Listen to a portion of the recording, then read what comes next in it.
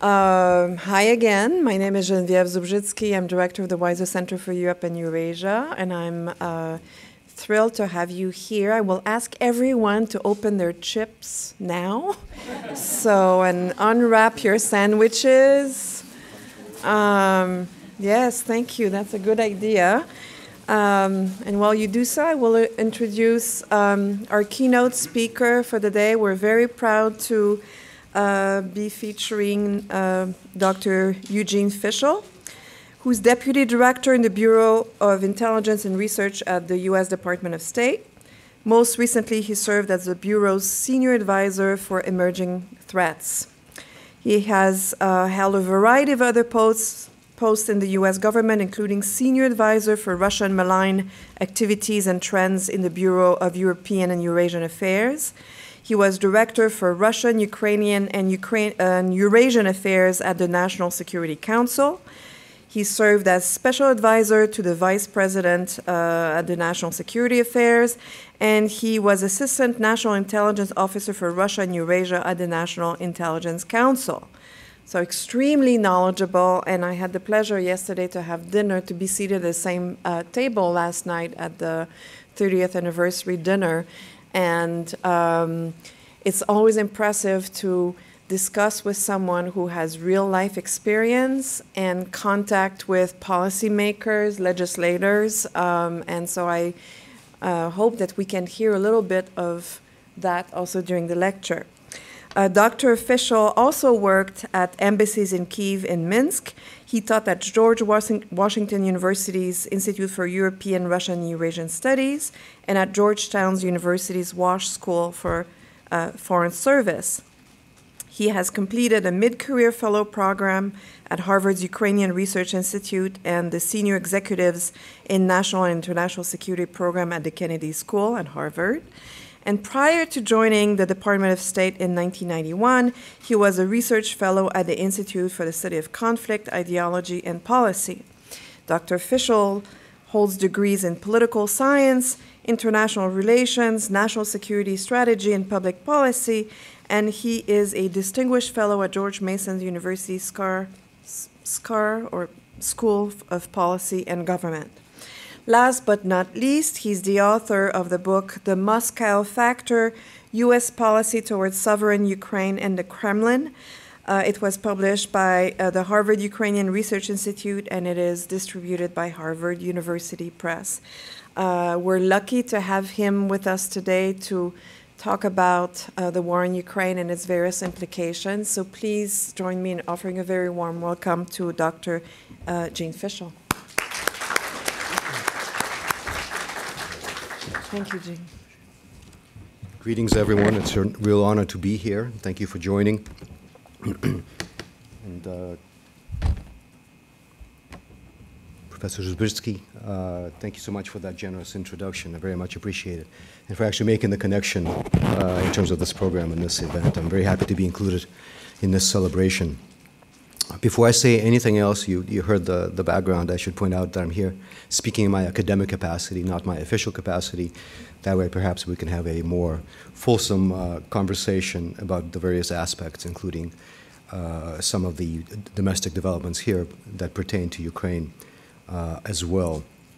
At last night's event, several speakers uh, took advantage uh, of the anniversary to talk about the world as it was 30 years ago I thought they did a fabulous job, uh, brought, brought us back in time, and underscored also how much has changed in the 30 years. I'll do the same with your forbearance, if I may, just very briefly. Uh, 30 years ago, of course, we were past the uh, first Iraq War. We were already past the collapse of the Soviet Union. Uh, the history was supposed to end, as someone said uh, at one point. Uh, it certainly did not. Uh, I believe the Yugoslav wars of succession were, were already raging uh, at the time. Uh, there was also, because we don't want to necessarily focus just on Europe, important developments happened elsewhere. There was something called the Battle of Mogadishu, which I believe occurred on the 3rd and 4th of October uh, 30 years ago, in which we lost some service members. Uh, in Somalia, But there was something else that happened on the 3rd and 4th of October 30 years ago, very close to today's date. Uh, and that was uh, something that has significant consequences for the world that we know today, but especially in the region that we're focusing on in this particular uh, conversation. Uh, on October 3rd, uh, you, might, you might remember if you're following the region at the time, there was fighting uh, at the Ostankino TV tower broadcast center in Moscow. Approximately two dozen people were killed. Also, that same day, President Yeltsin, the first president of post Soviet Russia, uh, uh, declared a state of emergency, and the next day, Russian tanks fired on the Russian parliament uh, in scenes that were quite captivating, to say the least. among other things, those developments gave us some insight into the state of Russia's democracy, perhaps at its peak uh, at, at, that time. We can discuss that if, if, uh, if you would like.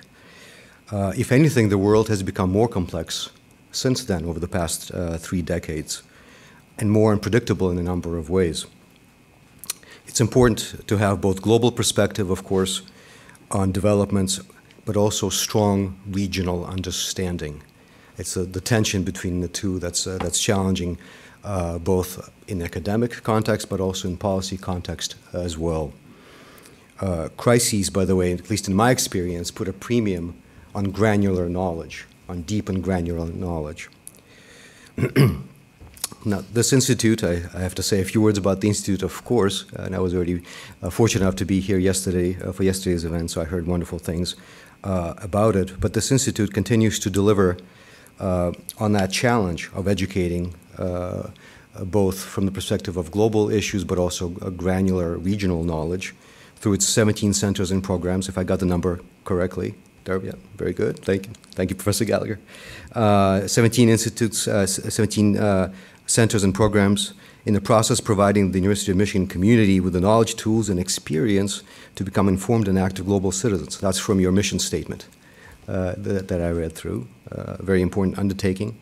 The preceding panel, I have to point out, certainly fit the bill in that uh, regard. It was terrific in a number of ways and very educational, and I learned a lot. So thank you uh, to, to the presenters uh, from that. The Reckoning Project has a critical mission and role, as you heard, uh, I'm fortunate enough to know some of the other individuals involved in it, like Peter Pomerantsev, uh, Natalia Humenyuk, and some others as well. Really terrific people who are uh, who are engaged in this worthwhile worthwhile effort. I should also mention the Sunflower Network. Uh, because I came across that uh, actually in one of your uh, in one of the publications as well. I suspect there's no one here from from from the net organizations, but they do terrific work trying to assist Ukrainians in dire straits uh, I believe uh, former and maybe current University of Michigan students are involved in that, and it's really a terrific demonstration of, of um, uh, really caring by doing, uh, which is so important, uh, especially in a, in a crisis like that. Now, in terms of my own presentation here, I was asked to talk about the present and future of U.S. affairs in Eastern Europe. Uh, my definition of Eastern Europe is perhaps a little different than folks may use in, in the academic setting because I do spend a lot of time working for the US government. In our understanding, Eastern Europe uh, includes countries like Belarus, Moldova, and Ukraine, not the old Eastern Europe of Czechoslovakia, Poland, and Hungary, for, uh, for example. And because we're talking about my definition of Eastern Europe, if I may say so, uh, I've chosen to focus on what uh, Francois Marie Arouet, also known as Voltaire, uh, to most people called, quote, a land of Europe unknown to Europe. It is the largest country entirely in Europe. It is therefore the biggest variable, both literally and figuratively, uh, in the intermarium, the area between the Baltic and the Black Seas. It is what Sherm Garnett from that other school down the road, I believe in East Lansing, I, can I reference it? Yeah. Uh, in East Lansing, uh, called the keystone in the arch of Central and East European security, and he did so back in the mid 1990s. So not too long after this institute was uh, was founded. It is a country that gave up the third largest nuclear arsenal at the time 1,700 uh, nuclear weapons, some missiles, some, uh, some um, uh, air launched, in return for something called security assurances. We can talk about that if you like uh, as well. I'm told security assurances, the lawyers are very uh, quick to point out that security assurances are not security guarantees, but I always, my retort is, but they're not nothing either. Uh, so something to consider uh, as well. It's a country that is today, at this moment, fighting for all of us, not just for itself. Something to keep in mind too. I'm here, as you can tell by now, to talk about Ukraine. You can also see it on the uh, uh, on the slide there, and its ongoing brutalization by Putin's Russia. I would like to do so. Let's see if this works. Ah, yes, that was the shelling in, in Moscow that I referred to earlier. I would like to do so uh, by addressing four key points here where the war stands, how it got to this point, the short version.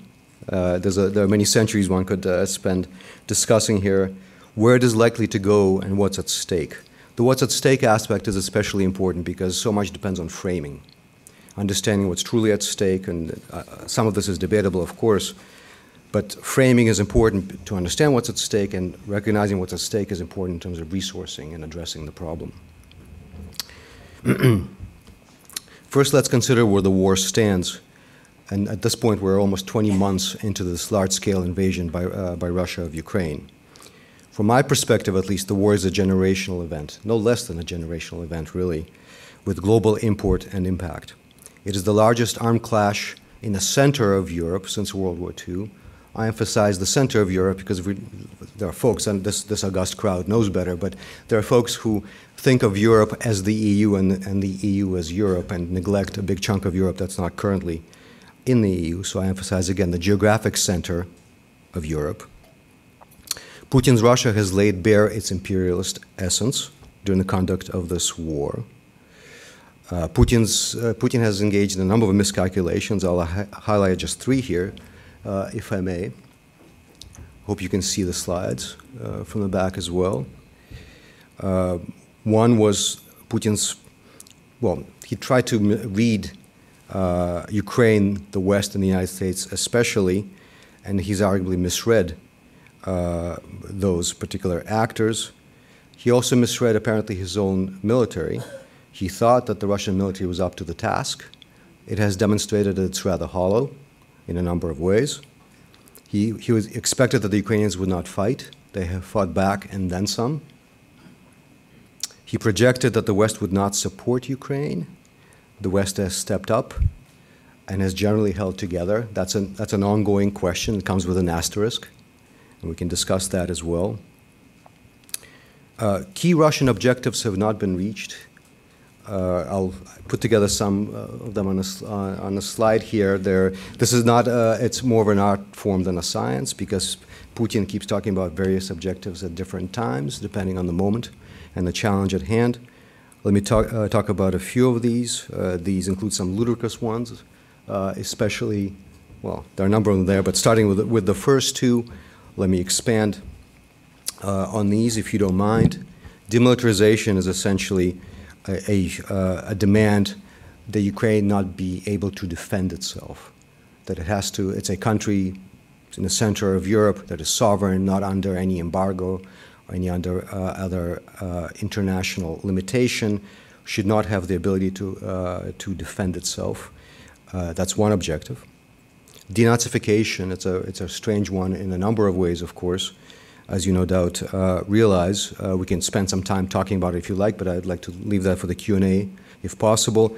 All I'll just say is that my reading of Putin's uh, denazification demand actually has to do with his unwillingness to accept that the Ukrainian people have a, have a right to decide their country's future and that nationally conscious Ukrainians uh, should not be in charge of, of that, he would say, territory. Uh, that's what denazification means, as far as I can tell. Protection of the Donbass is another uh, uh, uh head scratcher of, of, an excuse, of a demand, uh, and that is essentially comes down to Putin suggesting that Russia needs to protect something called the people of the Donbass uh, against Ukraine, even though the Donbass is part uh, of Ukraine. Uh, we're getting a little closer to some real, uh, real objectives here. NATO and missiles. Uh, if you may recall, uh, at the time of Putin's announcement of the large-scale invasion of Ukraine on the 24th of February 2022, he talked about the threat of NATO missiles against Russia Uh, if you've been following the news in terms of NATO expansion, you now know that Finland is a member of NATO.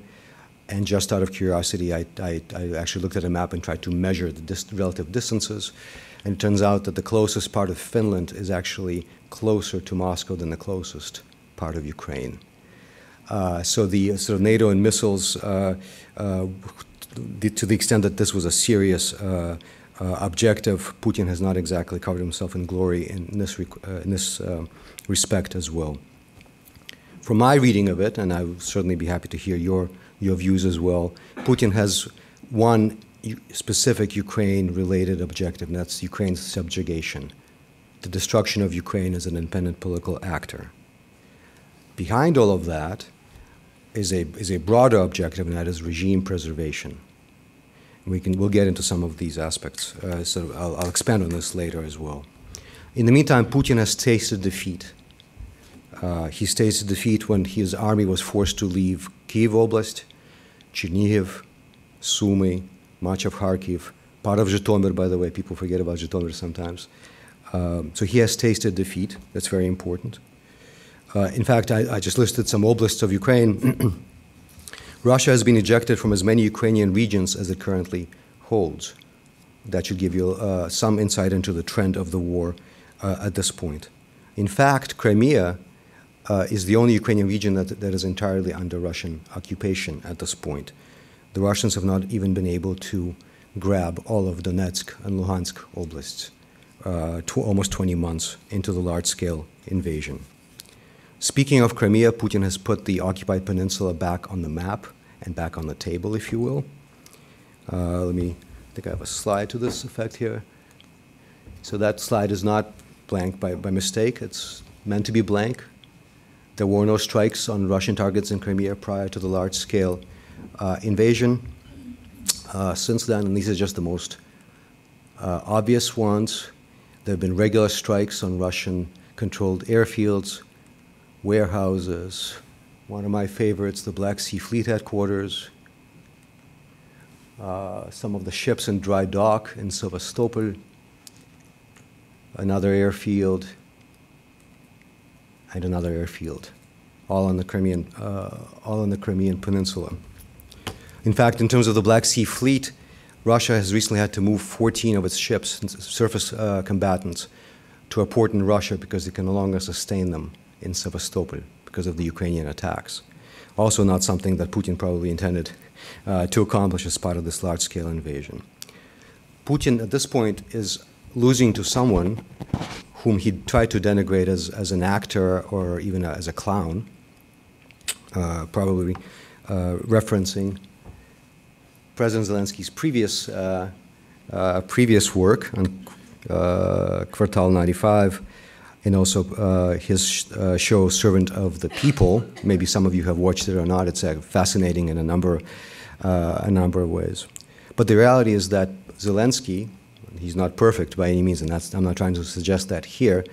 Uh, Zelensky has become a top-notch wartime leader of Ukraine uh, in ways that were frankly unimaginable just 20 months ago. He's someone with whom I've spoken a couple of times and I've seen an amazing transformation in terms of his understanding of Ukraine's role in the region, his level of Ukrainian uh, uh, consciousness, national consciousness uh, uh as well. Again, not trying to uh, make anything out of him beyond what evidence will, uh, will bear. Ukraine has, in the meantime, truly emerged as a keystone in the arch of regional security, as Sherm Garnett put previously. Uh, Putin has had to adjust to a longer war than expected. He's had to engage in a mobilization uh, that has brought in essentially uh, at least 300 plus thousand Russian civilians into the military to replace uh, the loss of the regular Russian army, much of which at this point is dead. Uh, this, I'm talking about the ground forces here, not the air force or the navy necessarily. Um, thereby, by the way, speaking of demilitarization, accomplishing perhaps more in terms of Russia's demilitarization uh, than Ukraine's. Ongoing process, obviously, but the Russian losses, especially, have been uh, horrific, uh, approaching 300,000 uh, if you if you count uh, dead and badly wounded. at this point. Ukrainian losses have also been significant, though a fraction, a fraction of that. Despite the losses, Putin is not serious about negotiations. In fact, he's doubling down on his demands vis a vis Ukraine. He's clearly hoping that the West and Ukraine will blink first. Uh, his overall objective remains the same, and that is destruction of Ukraine and Ukrainians. Uh, since uh, in the, pre- in the uh, previous panel there was a question about genocide, I wanted to mention that uh, as well. And when I say destruction, I mean destruction. This is not a, a war some somewhere in the margins. The destruction has been uh, horrific. Some, there's some pictures here that you may be familiar with in some of the cities that are, and towns that unfortunately have been in the news for all the wrong uh, reasons, uh, just hellish uh, urban landscapes in Bakhmut, Mariupol, of course, Marinka, it's near Donetsk, Vuhledar in western Donetsk Oblast. These are residential buildings, these are not military bases or airfields or anything else. Kharkiv, of course, where a third of the city, the northern part of the city, has been utterly destroyed. Kherson, and Andriivka, a small village, uh, but essentially it's gone. Just want to give you an idea of, uh, of what it looks like, what, what the Russian world looks like uh, after it uh, invades and, ha and, has to be uh, expelled. Uh, and what I wanted to point out, by the way, in the context of these settlements, because there are others I could point, point, to as well, in Kiev Oblast, Bucha, Irpin, a few other places. The ones I chose to, to put up here on the slides are, are all places where majority of residents were Russian speakers. So people who are naturally through cultural connection or some other sort of part of the imagined community of Russians beyond the borders of Russia, let's say, to one extent or, or another. These are the people whose homes he has destroyed. And I would argue, and this will manifest itself probably in the years down the road, that this is another major miscalculation by Putin at this, uh, at this point uh, appalling human rights violations. I'm not going to dwell on this aspect because I think we, we got a real taste of it uh, in the previous uh, panel, but I know some folks uh, came in uh, came for this event, so I'll mention just a few uh, unfortunate categories: um, mass and unlawful killings, including summary executions, forced disappearances, degrading treatment, outright torture, sexual violence, of course, severe restrictions on, on uh, political and civil rights. That goes without saying in some ways, unfortunately. Uh, freedom of expression, assembly, religion, etc. Um, there were horrific things that the Russians did in northern Kiev Oblast. I'll put up a few pictures. I apologize. I, mean, I try to find images that are not as graphic as some others. Uh, but you can see corpses lying in, in the streets this individual, I remember when this story broke, this individual was simply riding the bicycle down his, the street of his town, and the Russian, uh, the Russian personnel there gunned him down. You don't need to be a specialist on, on war crimes uh, to look at this image and understand what, what, it, what it represents. there have been really horrific exhumations uh, throughout the formerly occupied areas remind me of some things that I thought we would never see, especially in the context of World War II and some of the things that both the Nazi Germans and the Soviets uh, did to those who opposed them.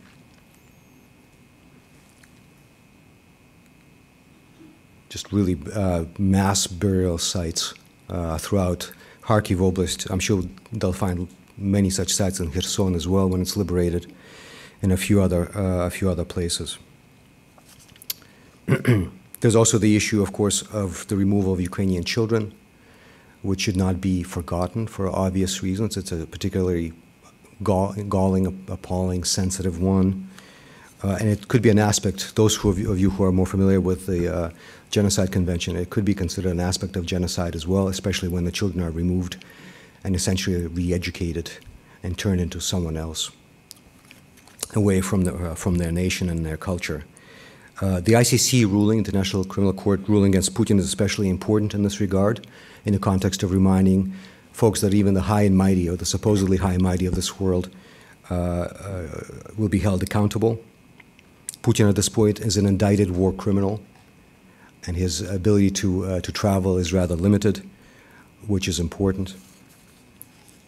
Now, the genocidal aspects that I'm referencing here, by the way, would not be the first time that Russia, of one stripe or another, tried to commit genocide uh, in Ukraine. I'm sure you're familiar with something called the Holodomor, uh, death by starvation.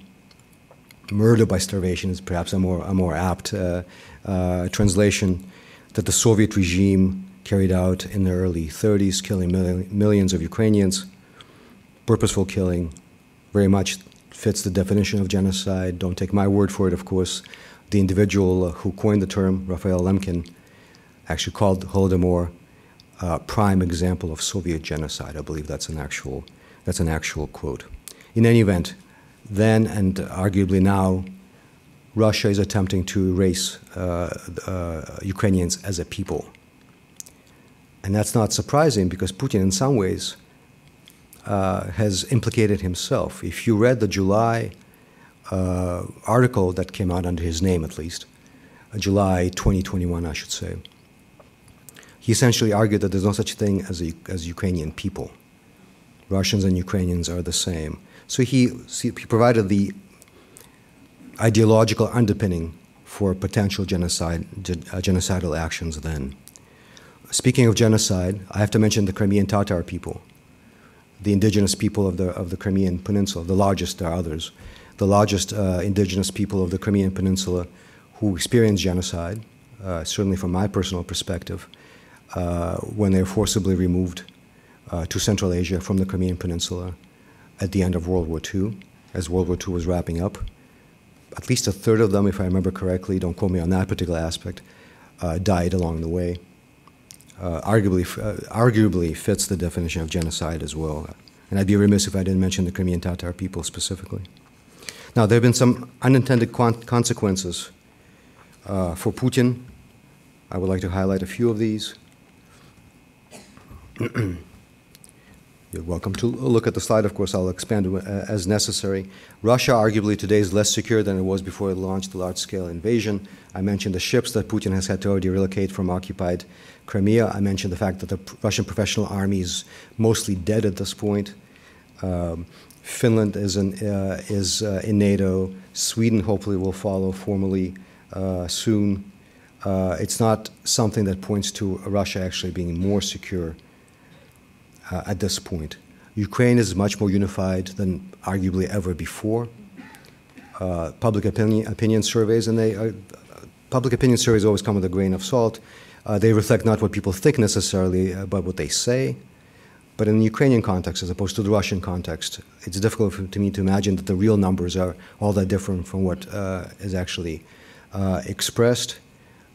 Amazing unity uh, in terms of fighting back, amazing unity in terms of uh, not accepting concessions, including territorial concessions, and an amazing unity in terms of fighting for, for as long as it takes to push the Russian aggressor uh, out of Ukraine. We talked about NATO and the uh, sort of uh, uh NATO growing, reinvigorated, has a new mission, thanks to Mr. Putin, a new old mission that is territorial defense, something that uh, the alliance was uh, sort of lost track of at some point, became much more expeditionary with, let's say, mixed results, but now is again focused on expanding the core of democracies in the, transatlant in the uh, transatlantic space. Loss of influence of Ukraine, that almost goes without saying. But I'd like to point out that the reason why Putin had to use the military, uh, military tool of statecraft is because uh, he could no longer influence Ukraine in other ways. It's in some ways an admission of defeat. That might be convoluted logic, so please consider that uh, uh before you dismiss it uh, out of hand. Uh, there's, he's also lost influence elsewhere including in Central Asia, among countries that he probably falsely considered to be allies. Russia has no allies. I'd like to hear you push back maybe on Belarus or maybe on Iran. We can, we can have that. Uh, we can have that conversation, but definitely loss of influence. Just look at what's happening in Armenia. Uh, at this point, Russia could not help protect Armenia, a member of, of a, uh, it's a treaty member, uh, it's a CSTO treaty member uh, Collective Security Treaty Organization is, the, uh, is what CSTO stands for, in which Russia plays a dominant role. could not help, could not come to Armenia's defense. From the Armenian perspective, I know there's a, there's a compl complex territorial issue there with Azerbaijan. A growing dependence on the PRC. Russia has been a junior partner to, uh, to the PRC for some time, a reversal from the from uh, earlier period when the USSR existed, where where the PRC was very much the junior partner, independent on Russia, and there were all kinds of difficulties, of course, in that relationship. And I predict there will be again in the future, uh, I think for rather obvious reasons, but a growing dependence that uh, will come at Russia's uh, expense uh, in, the, in the years and decades to come. And it's a regime now, the Putin regime, that has staked its future on the outcome of this unprovoked war. Uh, it, it, could mean a number of things down the road for the regime, but I suspect when the Putin regime falls over X number of years, I don't want to uh, certainly be here, stand here and predict a particular, a particular date. I suspect the outcome of the ongoing war will, uh, will figure prominently in that particular dynamic. Uh, let me move along because we have, I want to cover a few other points uh, as well. Second part, you will see some uh, you will not. I didn't put them on slides because I didn't want to uh, frighten you in terms of what detail I will I will get into. Uh, but let's just say, let me say, in terms of the second part, how we got here. Um, I have to state uh, from the beginning, Putin is the one individual most responsible for what is happening today, Russia's ongoing war against Ukraine. Putin's personality is a particular one. And he's anchored in the late Soviet period he's president of Russia, but he's, he's a, a, person from the late Soviet period. Under him, Russia has become even more revisionist and, and uh, neo-imperial. Uh, frankly, he gave us a heads up about his potential behavior in 2003. That's the that's why I have the map of the Kerch Strait there with the uh, island of of Tuzla. It's a tiny speck of land on which uh, uh, one of the supports of the illegal Kerch Strait bridge uh, now stands. It's a Ukrainian island that the Russians tried to take over in 2003. If you didn't hear about this, if you're, if you're not aware of that particular crisis, you, uh, it's completely understandable. Most of the Western press missed it, didn't think it was that important. It was hugely important. Putin was already testing Ukraine at that point. And to give former President Kuchma credit, and I don't say that combination of words often, by the way, uh, uh, he did push back, and the Russians uh, had to back away. Now, Putin has been trying to have his way uh, with Ukraine since 2014. The war did not start in 2022. It's a large-scale invasion. The war has been going on for nine plus uh, years at, the point, at, at this point. And again, for Putin, regime preservation is the key objective. Ukraine is a, is, a, is, a, is a place where some of this plays out. The reason why he dislikes Ukraine especially, and books have been written and more can be written on, the, on that subject, uh, perhaps, is that Ukraine is a bad model, bad in quotes, bad model for the rest of the post-Soviet region because Ukrainians actually believe that they should be able to influence where their country is heading and that what the people want matters. He doesn't want that uh, in Russia, certainly. Uh, I will skip, I was going to say something about the uh, Kievan Rus period, but I won't. Suffice it to say that it's a, it's a no matter how, how far back that period is at this point, it's very important now because of Putin's manipulation of history. Almost everything he says about history is a historical and on a number of levels. We won't delve in, into those now, but I just wanted to, uh, to underscore that. And I believe Sophia mentioned in the previous uh, panel that she, she took Russian history courses but not, didn't study Ukraine. Uh, I'll, I'll respond with this. Uh, uh, I'll say that you did study Ukraine, just in a very convoluted, perverted way, uh, the way that early Russian history uh, uh, is presented. And I know, I know you realize that, uh, certainly. Uh, at this point, uh, Russia, when it comes to the Kievan Rus period and other aspects of Ukrainian history, Russia has carried out a, a sort of a large-scale, industrial-scale cultural misappropriation of that history. And just please keep that in mind because you'll hear references to it at one time or another. I will ask you uh, it's a rhetorical question, uh, a question about something called the Third Rome. Uh, it's a reference that's made to Moscow, uh, the, the, notion being that Rome was the first Rome, Constantinople was the second Rome, and then for some, some reason Moscow is the third Rome. Not Kiev is the third Rome, and Moscow may be the fourth Rome. For me, that aspect captures the, the extent to which the Russians have attempted to rewrite uh, regional history and to take agency and influence and voice and patrimony from the people of Ukraine going back to the Kievan uh, uh, Rus period. I'll mention one date and I'll move on to the Soviet period very quickly. 22 October 1721. Uh, I know there's some historians here, maybe of the region, maybe not, so that's an unfair. It's a particular date. It's a date that Peter I, not Peter the Great, even the Russians don't call him Peter the Great that often, but for some reason in, in English we refer to him as Peter the Great and Catherine the Great instead of Catherine II. Anyway, that's when Peter I declared the Russian Empire. 22 October 1721. Before it was what? Russia? It was Muscovy. There was no Russia in that sequence. Something to keep in mind as well. Anyway, I could say a few more, uh, a few more things. I won't. Um, just in terms of the, the Soviet period, very quickly, I will just say uh, uh, that, and folks here probably know this, but many audiences that I speak to don't. At some point, Ukraine had its independence after World War I. It was an independence that was recognized by a number of countries. Uh, and, apologies. Uh, one was Germany. The Germans were very much interested in Ukrainian independence for their own geopolitical reasons. Another was, was uh, Turkey, what we refer to as Turkey uh, today, also important in terms of the Black Sea. There were a few others, but what's, what's a big one also that recognized Ukraine's independence? Bolshevik Russia. The Bolsheviks recognized Ukraine's independence. Something to keep in mind because the Russian historiography ignores that aspect as well. We could talk about Chernobyl and uh, Gorbachev, we won't do that. I would just say that Ukraine played a key role in the USSR's collapse, and Leonid Kravchuk, the uh, first president of modern Ukraine, played a, a, key personal role as well. I only mention that because I, want to, I wanted to set up the next point, and that is that the collapse of the USSR is still ongoing. Legally, technically, it ended, I believe, on December 25, 1991 it is still ongoing in many ways. And what we're seeing in the region today, including Russia's ongoing war against Ukraine, is the ebb and flow of the dynamic of the former imperial center trying to reassert itself, but doing so in ways that will, uh, will be very dangerous for itself, by the way, not just to its neighbors over the long haul. Who was the first Russian president to question Ukraine's borders?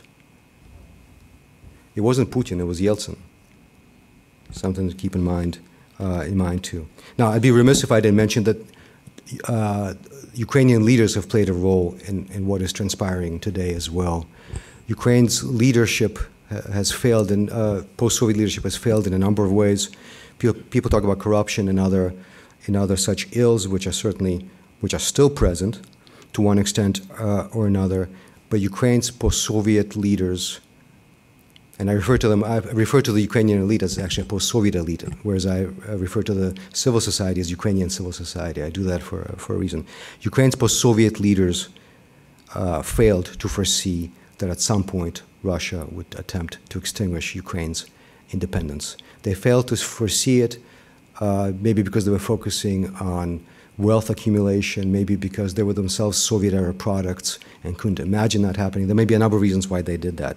But certainly Ukraine's leaders have contributed uh, to what we're seeing today. The West did as well. Western ambivalence and ambiguity about the east of the continent uh, has emboldened Moscow in a number of ways. Uh, the inability to understand that there is a security deficit in the east of the continent that needs to be filled has contributed to that uh, to these dynamics uh, as well. Nature abhors a vacuum, and there's there's a security vacuum centered on Ukraine uh, today. Let me say a few words about the U.S., and I'll begin to wrap up. Um, because the, our country here, for those of you who are American, has also contributed. And in fact, every administration, every U.S. administration has contributed to this dynamic. Um, and not in the way that Moscow alleges. The Moscow uh, trope is that uh, Washington is a sort of puppet master uh, controlling things in the region. That's not it at all. Um, the current administration, you might think I, I, would not include it in this, in this uh, category. The current administration uh, has been terrific in terms of sending, uh, providing support to Ukraine, both financial and military, um, and deserves a lot of credit, though that support has often been timid and long in coming. Uh, for example, only this week did the president, that the White House uh, announced that the president will deliver a speech on, on, why it's important to support Ukraine. almost 20 months uh, into the war. Uh, why did it take this long? That's a rhetorical question. But before this administration, apologies, uh, before this administration supported, provided support to Ukraine, there was also something called the Spirit of Geneva. Let's see if you have a. Yes, that was the president meeting with President Putin, in which they talked about creating relations with Russia that would be stable and predictable. That's a, that's a, uh, that's a quote. The notion that someone could expect Putin, who has made his name as a disruptor in many ways, that would, someone like that would sign up to a st stable and predictable relationship with the United States is laughable, of course. Uh, there was the Trump administration, uh, a particular and peculiar case in its own right. Uh, I sort of I'm remind, I selected a picture image of the Helsinki summit because it was actually a low point in, in many ways in diplomatic history, uh, in the sense that our then president could not explain uh, our differences with Russia over Crimea. To such an extent that Putin actually felt the need to step in and and uh, and help him out with what the different, with you know how, how our views are, are different on the peninsula. there was the Obama administration, of course, uh, kept moving goalposts in terms of supporting Ukraine, never ended up not providing any lethal assistance to Ukraine, even though Russia was already fighting a war uh, against that country. President Obama claimed that there were no core interests involved. I suspect President Biden, when he delivers the, the speech, uh, will, will beg to differ in that regard this time around. Uh, in fact, President Obama called Ukraine a client state of Russia, and he did so in his uh, State of the Union address. I forgot which year it was, uh, but also a misreading of the situation. And of course, the Obama administration was responsible for the failed reset policy. Uh, yeah, that's uh, Secretary Clinton and uh, Russian Foreign Minister Lavrov pressing the so-called uh, reset button.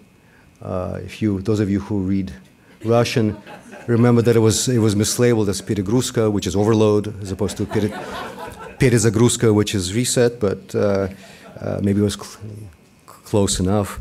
Um, you saw, uh, you remember President Bush looking into Putin's eyes and, and seeing something, uh, something good there. Um, I should point out that the, that, uh, the Bush administration, Bush 43 administration, did support the Orange Revolution. Uh, became a major uh, cheerleader for the, for the Orange Revolution but it never blamed Russia for what had transpired, and Russia was involved in, of course, uh, in a fraudulent uh, attempted election at that point. Uh, Clinton administration, you remember that uh, period. Ukraine's interests were, were uh, dismissed and subsumed, even though Yeltsin was the first Russian president to question Ukraine's territorial integrity, but we were overly focused on Yeltsin. Um, and then, of course, there was the oh, sorry, how could I forget? Yeltsin was also responsible for bringing that individual into power, which is why we're having this conversation uh, today. Uh, and of course, there was the uh, uh Bush 41 and Yeltsin, and before that, Bush 41 and Gorbachev. Uh, that particular picture is important because one of Putin's key claims about the United States uh, is that the United States sought the collapse of the USSR. as someone who went through the archives, uh, in, in uh, great detail, I can assure you there's nothing there to point, that points to that, uh, uh to that notion at all. In fact, uh, Bush 41 worked very hard to preserve the USSR so that Gorbachev could remain uh, in, in, in power. Something to keep in mind as well. Yet another ahistorical claim by, by Putin. Let me skip ahead I was going to talk a little bit about the cultural familiarity with Russia, quote unquote Russia, which, which uh, uh, tended to use USSR and Russia interchangeably, which is, which is part of the uh, problem that we face um, uh, in understanding the region. Even as recently as last year, the, the Biden administration put out a, a, a press release which talked about the, uh, the US space race with Russia even though, of course, it was the Soviet Union, and even though, and some of you may know this, the father of the Soviet space program was, was who? Do you remember? Sergei Korolev, a Ukrainian. Uh, so that's something to keep in mind uh, as well. Um, let me skip ahead to where we go from here very quickly.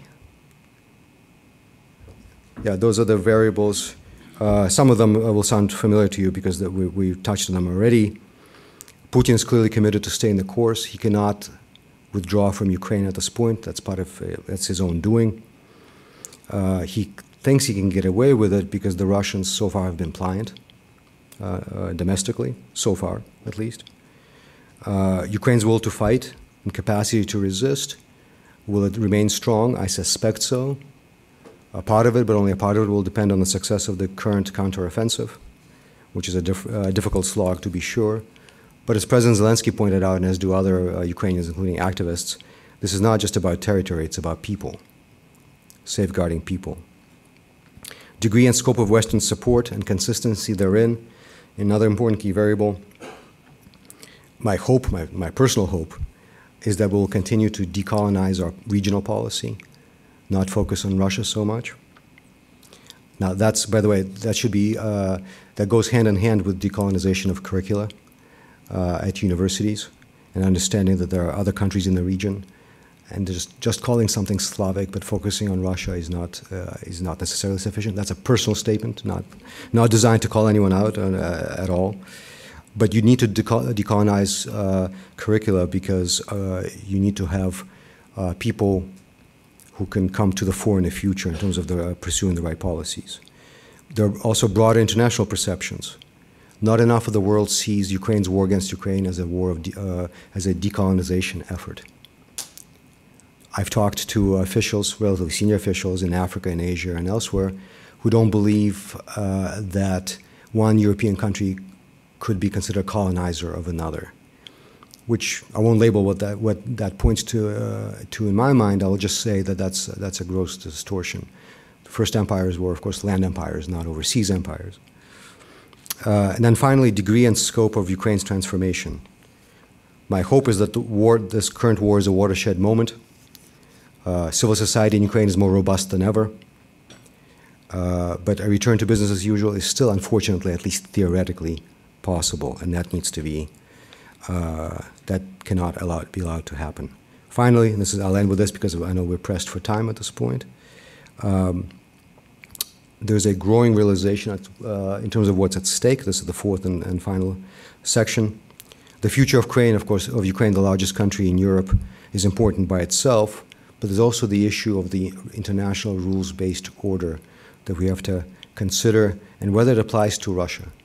Moscow has behaved since the collapse of the USSR as though not just the international rules-based order, but the laws of physics don't apply in the former Soviet space. That cannot be allowed.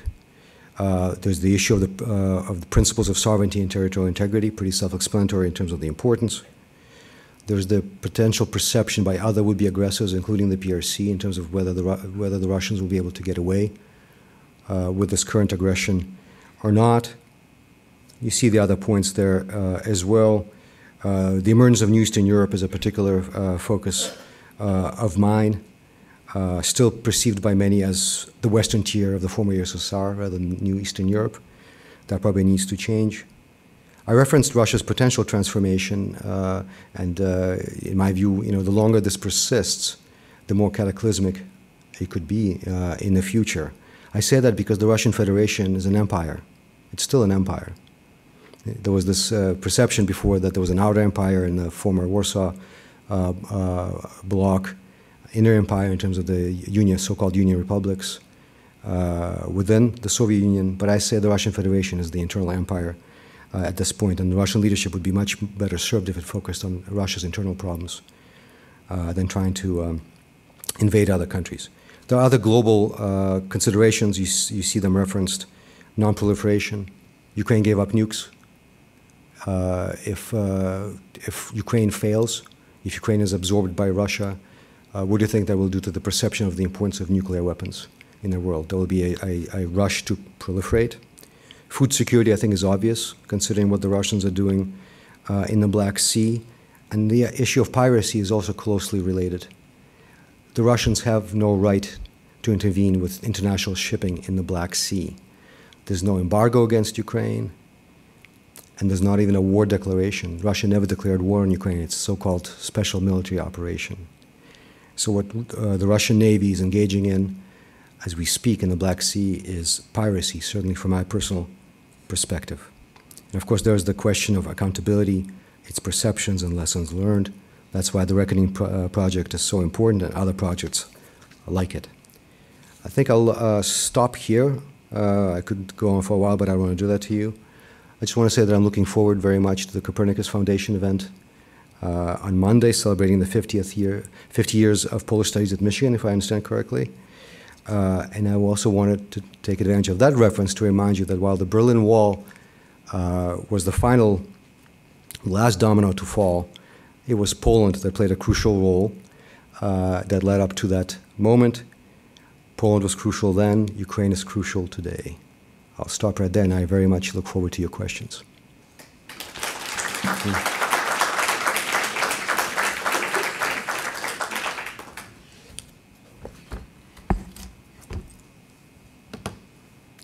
Are folks supposed to go to the microphones? Is that, is that the idea? Okay. Hello. Greetings. Uh, my name is Ksenia Yurtaeva, and I'm a scholar at risk fellow in the Weiser Center of Europe in Eurasia, and I'm associate professor of Kharkiv National University of Internal Affairs. Uh, thank you for your very insightful talk and highlighting all these important questions. Uh, and I just wanted to make a bridge between uh, our previous panel and your talk. Uh, we talked about uh, the very high stakes that Ukraine is paying for this war for resistance, uh, that uh, Ukraine uh, is really uh, putting up his people and its effort to resist, and about the importance to stop Putin's imperial project that is still in the slide. And I just have like two questions.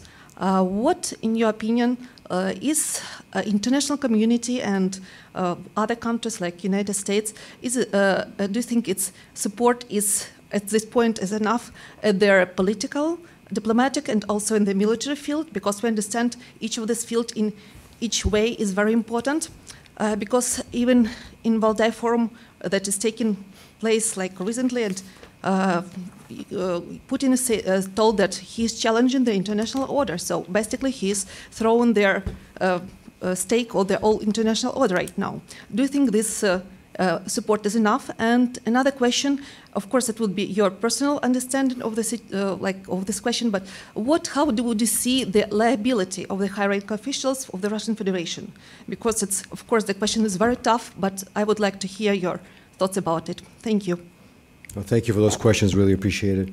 Um, in terms of support being enough, uh, I, I, would suggest that that needs to be understood in the context of what the objective is, what the outcome sought is. The Ukrainian people have been very clear in terms of what they hope to achieve, and that is the, the withdrawal of Russian troops from all Ukrainian territory, including Crimea. Uh, of course, that has not happened. Ukraine is engaged in a very tough uh, slog of a counteroffensive, as you know especially in the south of the country, but also uh, in the east. Uh, the Russian military is, is not particularly skilled, but it's large. Uh, and Ukraine needs additional support. So it's not the short answer is that it's what, what has been done so far is not enough. Uh, more needs to be done. Unfortunately, Western assistance, and I'm talking about military assistance in this regard, uh, it's been coming and it's it's been critical. In fact, uh, I've reason to believe that it played a, a, a, key role in defeating the Russian forces in northern Kiev Oblast at the very beginning of the large scale uh, invasion, where we sent uh, significant numbers of javelins and stingers uh, to blunt that assault. But it's not enough in this because a number of Ukraine's regions remain occupied at this point. Ukraine is also having a difficult time uh, financing itself. Uh, so the West has been providing significant assistance uh, it needs to continue. Uh, there's a deficit on a monthly basis. Obviously, you know that in the most recent continuing resolution that the Congress passed, there was no direct money for Ukraine. that has raised concerns in a number of capitals, including in Kiev. of course, the hope is that that that that particular type of support, the financial support, will continue as well. But no, overall, it's not enough because there's still a tough fight ahead on the question of liability of, Russia, of Russian leadership, I mean, I think it's been documented, maybe not sufficiently, depends on the bar that one uh, uh, uh has in mind when talking about uh, sufficient uh, evidence and documentation, but it's clear, one doesn't have to be especially, an especially uh, well-informed legal scholar uh, because of Putin, him, what Putin himself has said about Russia's large-scale invasion of Ukraine. He's on record saying quite a few things that, that are, in my mind, uh, Exhibit A uh, in a number of ways. Uh, but you know, Russian officials, starting with Putin, have been responsible. I would include the entirety of the Security Council of the Russian Federation in that regard, because you I no doubt remember that session in which Putin, that public session in which Putin called on every member of the Security Council uh, to endorse his in, his invasion plan, and they did so, some more reluctantly than others, but they're certainly part of the. Uh, they should be held accountable. They are liable uh, for the atrocities that are taking place on a daily basis, including today. Please. A wonderful talk. Thank you. Thank you. The United States has been by far the largest supplier of weapons and aid to Ukraine, but the United States has, um, Ukraine since the beginning of the war has asked for three additional things besides what we've given them. They needed hundreds of tanks, they want uh, jet planes, and they want uh, the ATACMS, the long range missiles, and we have never really given them those things. And also, to go along with that, is the fact that while the United States and Germany will both say, and have said many times, that they don't want Ukraine to lose, neither country has ever said that they want Ukraine to win, as far as I understand. Thank you. May I leave uh, you with uh, Slava, Slava Ukraine. Mm. Thank you for that. Uh, uh lose versus win. It's a key question there. Uh, thank you. Thank you for, for, your, uh, for your comments and, and uh, question. Uh, yes, the Ukrainians have asked for certain categories of weapons that we have yet to provide. It's not entirely true of tanks, although one can talk, if you're talking about hundreds, that's, uh, uh, you're certainly correct in that regard. Um, other countries have stepped up in terms of the Leopard tanks, certainly from Europe, in much larger numbers than we are able to provide in terms of the Abrams tank. My military colleagues tell me that the Abrams tank needs a lot of maintenance, is, uh, uses up a lot of uh, fuel, uh, and not is not great for the East European theater. I don't know if that's entirely true or not. Uh, those are some of the explanations uh, I've heard. Uh, but yes, Ukraine will need more tanks if it wants to, if it hopes to liberate more of its territory. on the aircraft front, there is some good news, as, as, as you know, because the Ukrainian pilots are being trained at this point on the F 16 one of our uh, former premier uh, air platforms. Uh, but unfortunately, and this is yet another example, and I say this in my non official capacity, of course, um, this is something that should have been done already close to a year ago, not now. This linear approach, this sort of slow roll approach to helping Ukraine, uh, is uh, not having uh, the kind of benefit that it could otherwise, and it's costing lives on a daily on a da- daily basis. The longer range missile systems, the ATACMS that you referenced, the hope is that they'll, they'll be provided uh, to Ukraine, but there's been a, a multi month delay uh, at this point, and I hope the White House will announce uh, soon that they'll, they'll, be, uh, they'll be going to Ukraine. They can be a real difference maker, as you know, uh, given your question, uh, because when we provided, when the United States government provided HIMARS systems, it forced the Russians to move logistics bases further away from the front, which complicated Russia's efforts to react uh, to, uh, to Ukrainian counteroffensive moves. Uh, the attack was a longer range that would complicate things even more for the Russians and, re- and really, really begin to destroy the logistics base in that particular area of operations on the lose versus win, not to lose, but not necessarily to win. It's a critical question. It's one of those framing questions that's so important that leads to many other things, including resourcing if, if our goal is to, is to prevent Ukraine from losing, it's, it's a very different outcome uh, than helping Ukraine win. Because today we can already claim that we have prevented Ukraine from losing, because it still exists 20 months uh, into this large scale uh, Russian invasion. But that's not good enough, certainly in my, uh, in my uh, personal view. Ukraine has to win. Uh, Ukraine has to reclaim its territory, not just for Ukraine, but also, as I referenced, because of many other reasons including the very notion of, of what constitutes international law and the fact that countries in the 21st century, in this case in the center of Europe, should not be able to grab other countries' territories and proclaim them their own. Thank you. Thank you for a great lecture. My name is Viken Maradian from the Center for Armenia Studies. Um, you touched on Russia's failure to come to one of its most significant CSTO allies, Armenia's side, with a recent conflict with other Azerbaijan, and I appreciate you alluding to the namely 10-month humanitarian crisis uh, of the Azeri government blockading the Lachin corridor, refusing to allow food, medicine, or any other humanitarian aid to this region. Recently, the self-proclaimed democratic autonomous government in the region of Nagorno-Karabakh, known to its art, uh, residents as Artsakh, officially announced that they would dissolve their government, followed by a forced mass exodus of around 100,000 Armenians out of the region. And recently, scholars have deemed this conflict as the other war or the forgotten war. Both the West and the UN's inability to step in, combined with Putin's distraction on the Ukrainian front, has caused a forced exodus that is largely ignored or unreported in international media compared to its coverage of Ukraine.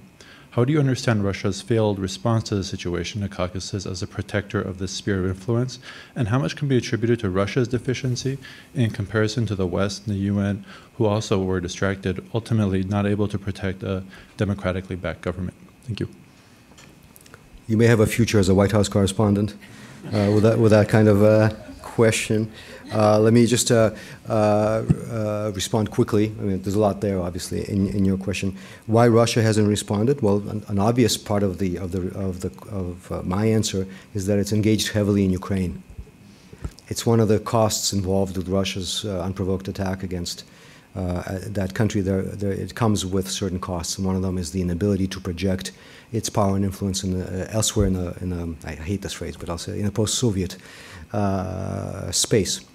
So it's another, yet another loss for Russia. Its inability to project power, including uh, and, and, protect countries uh, that are members of what's supposed to be a, a security alliance.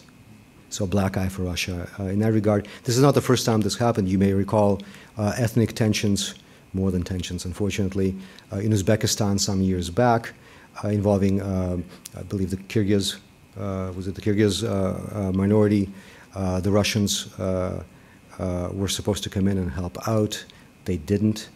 Uh, and uh, that was already an, an early indicator that uh, uh, Russia is, uh, may talk a, a, better game than it can actually play.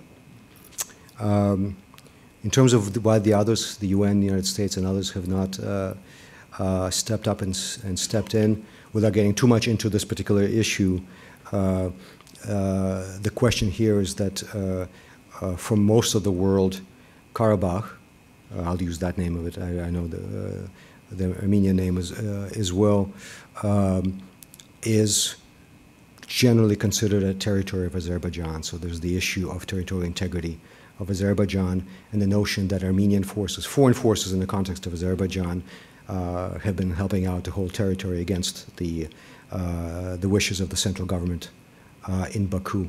So there, there are complicating factors.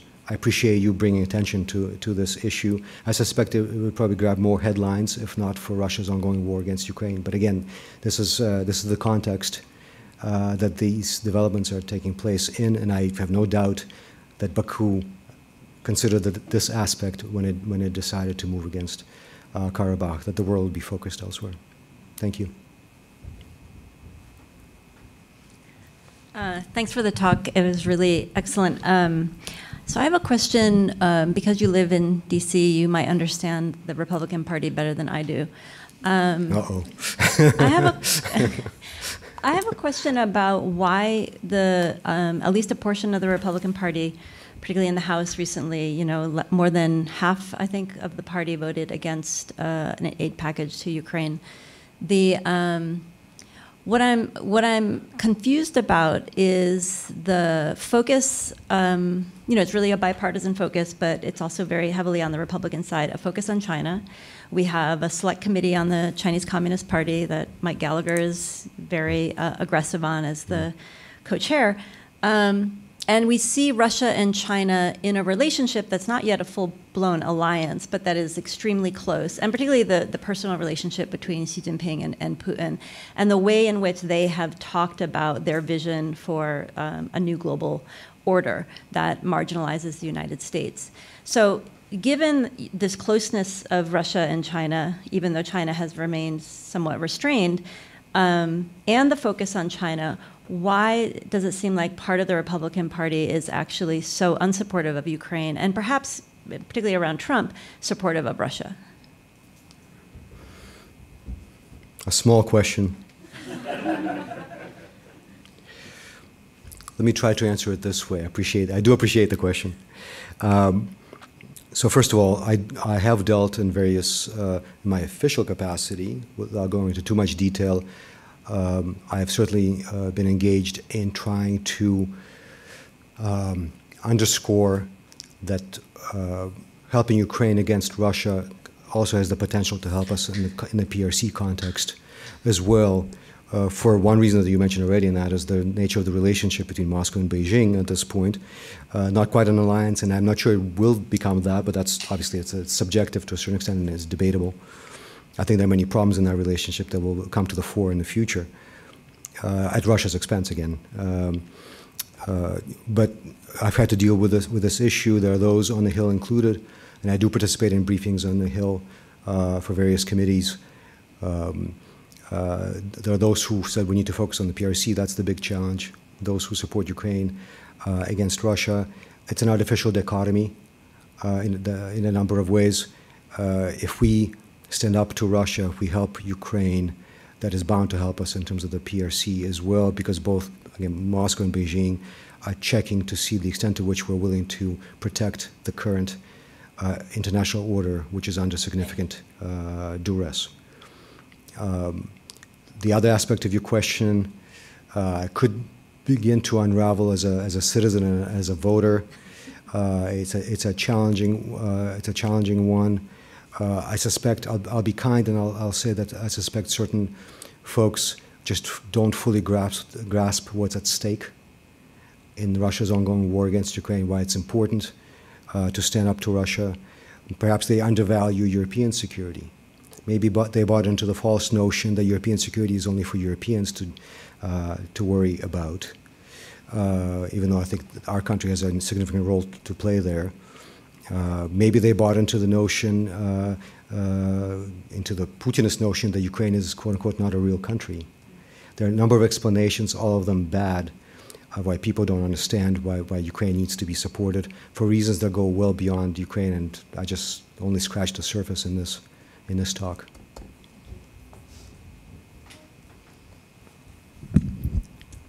Um, thank you very much for this great talk, and first of all, express my support to the Ukraine and Ukrainian people, because I'm myself from Georgia and I know what does it mean to be attacked by Russia and Russian aggression twice. It was 90s when I was a kid and expelled, being ethnically Georgian from Abkhazia, and then.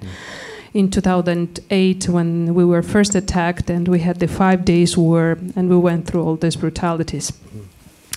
Now to the question. Um, so I'm very much interested in your opinion and your analysis because you, I assume, are also, also originally from Ukraine and you know local politics um, in Ukraine and regional politics in relation to Russia, and you have uh, uh, have 30 years experience in working with the U.S.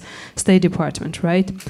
So, what will be first come? There will be the regime collapse in Russia, and then the defeat of Russia in Ukraine war, or vice versa. First the defeat, and then the regime collapse, because whatever we're seeing uh, on the side of Russia, there is total disorientation within militaries because there is no unified command. There is Prigozhin's mercenaries, the recently what has developed, the uh, coup attempted military and successful coup. And um, on the other hand, uh, what are those disadvantages that have Ukraine uh, considering the domestic politics? We are talking a lot about foreign politics and the Western aid and what we agree and we have the consensus that the Western um, actors are quite uh, consistent in a way in terms of economic sanctions, in terms of military aid, in terms of political support, unprecedented. It was not like during Georgia-Russia war. Mm. Uh, but we also have to agree that this support should be somehow translated in a better, in an efficient way in the local politics. All international politics are local, mm-hmm, right? Mm-hmm. Uh, so the actors should be receptive, well receptive, um, and more organized and mobilized. So, in that sense, how you will assess the Ukrainian openness, Ukrainian readiness to translate that support effectively? Uh, against Russia. Thank you. Thank you very much. I appreciate you asking uh, this uh, set of questions and uh, uh, wonderful to, uh, to meet you. Uh, I, I, am familiar with your country, at least the country that you, that you come from. Uh, and I thought that our American response and the international response in general in, in when Russia um, most recently invaded Georgia was insufficient. The Bush 43 administration at that point was already nearing its timeline uh, in power and, and did very little, frankly, to push back. And then the Obama administration added insult to injury, arguably. I'm a, I'm a, uh, a critic of, of, various administrations, non, nonpartisan, certainly in that respect. Uh, the Obama administration added insult to injury by, by pursuing the reset policy with Russia while Russia was occupying Georgian uh, territory. So that was arguably that contributed to uh, Moscow's decision to try to annex Crimea and had its own consequences in terms of the large-scale invasion as well. It's difficult to say. You know, Russia is a uh, is a particular place. It can look pretty stable from the outside uh, until one gets into some of the sort of the specifics of the dynamics there. I mean, there are different types of stability. There's general stability as we would define it. Um, there's the stability of cemeteries, uh, stable but not something one wants to necessarily being uh, involved in. And then there's the um, a stability that masks uh, fragility, brittleness. Uh, that that is uh, a significant feature of of, uh, of, Russia, of the Russian power dynamic today. I, I, don't say politics because there are no politics in Russia, really of any significant degree at this point regime collapse before defeat or defeat and then leading to regime collapse. I can see both playing out, uh, uh, one or the other. I can see, I can easily see how this could be in, uh, occur in parallel. Uh, a large-scale uh, defeat at the, uh, at the, at the front lines, accelerating maneuvering back in Moscow. that interferes further with Russia's ability to prosecute this illegal war, which then has other negative consequences for the battlefield so mutually reinforcing in a negative sense uh, that way. Uh, I don't see. We, the previous uh, question, two questions before had to do with you know supporting Ukraine to win or, or just not to lose. I don't. At the end of the day, I, I cannot see. Maybe it's my own limitation. I do not see Russia winning uh, in Ukraine, just given how uh, how uh, unified Ukrainian society is. They're not facing just the Ukrainian armed forces; they're, they're facing all of Ukraine. Uh, and, that's, and if that's true, if that's true, uh, and if Putin continues to try, at some point that brittleness will manifest itself in more obvious ways, even though it's not as visible, uh, not as visible uh, today. In terms of Ukrainian domestic politics, uh, translating international support to sort of move Ukraine forward, as I understood it, to, uh, to rejoin Europe in, in, in, all the aspects, not just in some aspects. Uh, politics in Ukraine, Ukraine is very different from Russia. I don't, I don't need to explain that uh, to this audience, I, I, don't think. But because of the war and, and martial law, Ukrainian politics are, are, are, are, not gone the same way like they are in Russia, not at all. It's, a, it's not, there's no parallel there whatsoever. But they're somewhat suspended just because of, of, of the ongoing brutalization of Ukraine. The, what used to be the pro Moscow wing uh, of the Ukrainian political spectrum has collapsed, and rightly so. It was in many ways illegitimate to begin with. Um, and President Zelensky, someone who was naturally sort of Moscow friendly, at least Russia friendly, based on his childhood and, uh, and experiences and things like that, has become an ardent, uh, has apparently become an ardent Ukrainian uh, patriot, and so he has uh, pushed out those who used to be that part of the of the spectrum, the the Poroshenkos of this world, and you know former President Poroshenko and others. Uh, so this political spectrum there uh, is rather limited uh, at this point. I say that, first of all, with understanding, but also with some concern in the sense that at some point politics will return to Ukraine. I hope they return uh, to competitive politics, return to Ukraine, hopefully with Ukraine's victory uh, in this war.